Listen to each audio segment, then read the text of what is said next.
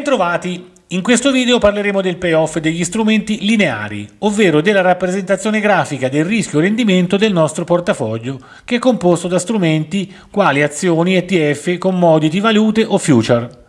Questo particolare grafico è la rappresentazione di quanto una posizione può guadagnare o perdere in funzione del movimento del prezzo del sottostante.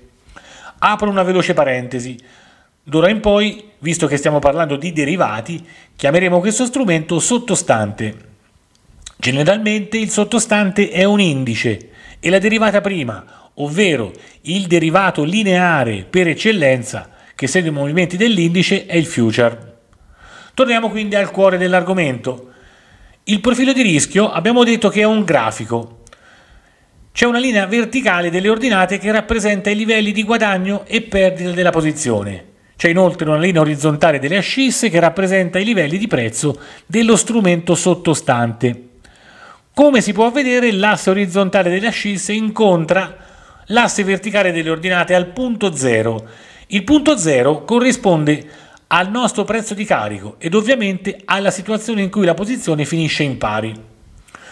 Questo tipo di grafico è chiamato appunto payoff serve per comprendere esattamente quali rischi sta correndo il nostro portafoglio relativamente alle nostre scelte operative. Come sapete, quando ci affacciamo al mercato possiamo prendere posizioni a rialzo, acquistando un future a un determinato prezzo, rivendendolo quando il prezzo è aumentato e ottenendo così un guadagno, oppure possiamo prendere posizioni a ribasso, vendendo allo scoperto, cioè vendendo un future a un determinato prezzo e ricomprandolo poi quando il prezzo è diminuito. Nel primo caso parleremo di posizione lunga in acquisto, altrimenti detta long. Nel secondo caso parleremo di posizione corta o in vendita allo scoperto, chiamata short. Vediamo ora i profili di rischio di queste posizioni. Partiamo subito con il profilo di rischio del long sul sottostante.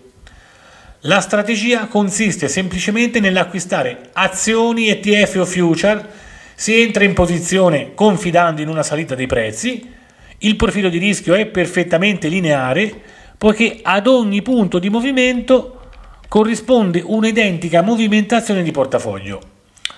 Nell'esempio abbiamo simulato di entrare al mercato con un long future quando il prezzo batteva 1000. Ad ogni punto di movimento corrisponderà un uguale movimento del nostro portafoglio. Quindi se il prezzo da 1000 sale a 1100, io guadagnerò 100 punti che equivalgono per comodità operativa a 100 euro. Al contrario, se da 1000 scende a 900, io sarò in perdita di 100 euro, ovvero 100 punti. Il profitto è quindi dovuto ad una salita del sottostante e la nostra perdita è dovuta ad una discesa del sottostante. Il punto di pareggio, altrimenti chiamato break even, è rappresentato dal prezzo di ingresso della posizione, ovvero quello che è il nostro prezzo di carico, cioè 1000. Passiamo adesso alla posizione esattamente contraria, diametralmente opposta, che è il rischio e il profilo di rischio di uno short sul sottostante.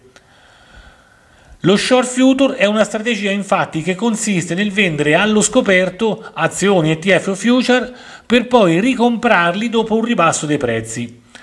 La si utilizza infatti quando si pensa che le quotazioni possano scendere e il nostro guadagno sarà dato esattamente dalla diminuzione del valore del titolo e la nostra perdita al contrario sarà data da un aumento del valore del titolo. Anche in questo caso il profilo di rischio è perfettamente lineare. Ipotizzando che il nostro ingresso a ribasso sia avvenuto mentre il prezzo batteva 1000 e abbiamo appunto un prezzo di carico a 1000, se il prezzo scende saremo in guadagno e se il prezzo sale saremo in perdita. Esattamente come per la posizione long, il punto di pareggio è rappresentato dal prezzo di ingresso, cioè 1000. Questo primo esempio di payoff servirà successivamente per far comprendere le grandi differenze che ci sono tra un payoff di un future e un payoff di opzioni, dove entra in gioco una nuova variabile di cui parleremo successivamente, che è la linea dell'at now. Grazie per l'ascolto, ai prossimi video.